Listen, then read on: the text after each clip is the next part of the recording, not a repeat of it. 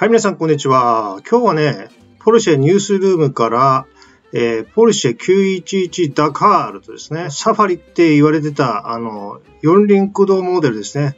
えー、全地形対応のできる、えー、オフロードモード、オフロードタイプのですね、911が、えー、今日ですね、えー、2022年11月9ですね、ちょっとバグってますけど、ここね、11月9日、リリースされました。ロサンゼルスオートショーですね。えー、11月16日に行われるそうですね。で、えー、まあ、お披露目という形になるということだそうですね。はい、えー、先日ね、あのー、お伝えしていた、あのー、チリのね、えー、火山、6000メーター級の火山でテストしていたものは、まあ、なんていうか、プロトタイプなんですけど、こちらの方とまた、ちょっとね、市販車モデルとはまた違う形で、えー、やっぱりテストが行われていたと。まあ、並行して行われてたんですね。はい。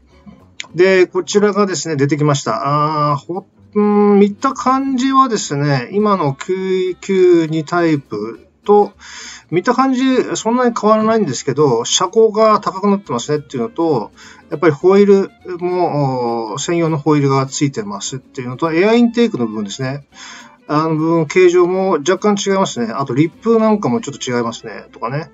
えー、パッと見た感じわかん、あの、に、そんなに大きな変更はないんですけど、やっぱり細かく見るとね、えー、やっぱり違うよね、みたいな。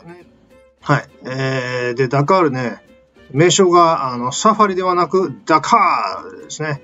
えー、4S の派生系モデルみたいな感じなんですかね。911の、あ彼ら 4S の拡張モデルみたいな感じですかね。はい。四輪駆動で、えー、砂漠でも、雪の道でも、ね、えー、全地形にで対応できると。で、走行できる、走破できるというモデルが来ましたね、やっぱりね。はい。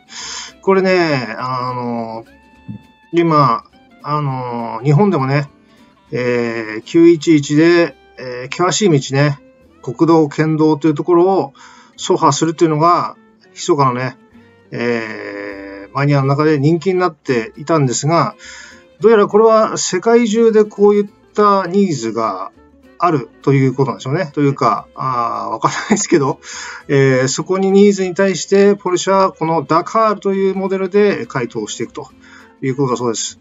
いやー、すごいですね。はい。で、この前、先日作ったね、えー、あの、チリの火山で、えー、プロトタイプですね。えー、もうテストしていたロバン・デューマーさんが、やっぱりこちらでも、あこっちのダカールチームっていうんですかね、えー、でも参加されていて、やっぱり同じようにテストされていたということですね。はい。うん。なので、えっ、ー、と、こちらは市販車用のテストプロトタイプっていうんですかね。あちらのそのチリの方のあ火山ですね。えー、火山を走っていたものは、えっ、ー、と、どっちかというと、えー、市販ではなくて、えー、極地を走破するための、どっちかというと実験的なものだったっていう感じですかね。うん。えー、で、あの、ボールターロールですね、のおやすさんも、えー、テストに参加していたということですね。はい。えー、これね、ボールターロールがね、あのなんか、ツイッターかインスタグラムか、ちょっと忘れちゃいましたけど、どっちかで、ハッシュタグつけたらしいんですよね。ダカールって。で、そこでバレたっていうやつですね。やっぱりダカールだったんだね、みたいな感じですね。はい。出ちゃったよっていうやつね。はい。あー、すごいね。僕でもテストをしているということですね。えー、で、ポイントはですね、えー、ここですかね。